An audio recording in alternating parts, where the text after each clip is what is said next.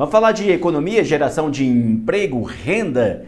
A Metagal, empresa instalada em Santa Rita do Sapucaí, anunciou aí a expansão na cidade, gerando cerca de 100 empregos direto. A empresa que tem 60 anos no mercado prevê investimentos na ordem de 29 milhões de reais para uh, aumentar, ampliar a produção em Santa Rita do Sapucaí. A empresa Metagal é líder na fabricação de retrovisores automotivos e de modernos sistemas de retrovisão geral aí na cidade de Santa Rita do Sapucaí.